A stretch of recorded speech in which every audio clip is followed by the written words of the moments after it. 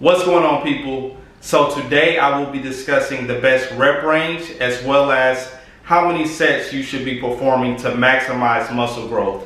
So I recorded some sets uh, of different exercises during my push workout. So I will have that on the screen as I go into discussing, you know, how many reps you should be performing and how many sets you should be doing if your goal is to build muscle.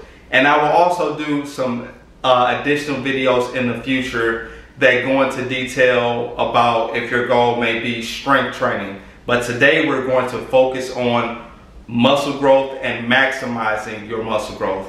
All right, so let's get right into it.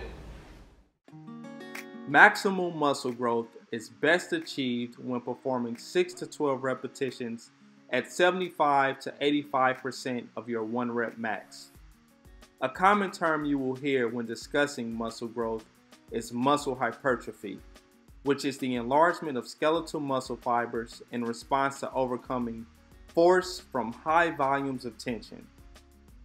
Resistance training programs performed in the 6 to 12 rep range with high volume and moderate to high loads lead to muscle growth. Progressive overload should also be applied to the resistance training program that you are using. This may be why you see many bodybuilders and other athletes use a training split so they can get enough volume to maximize muscle growth. A split training system allows an individual to have designated days for specific body parts.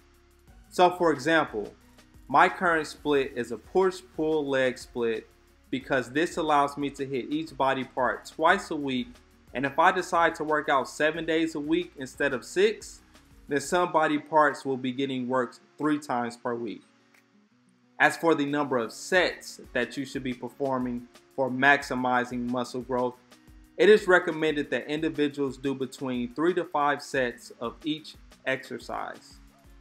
I typically do between four to five sets depending on how much time I have available for that particular workout.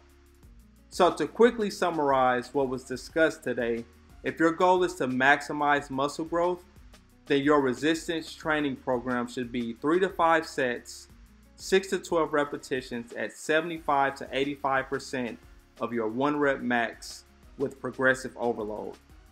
Please like this video and subscribe to my channel to see more videos on fitness. Thank you. Peace.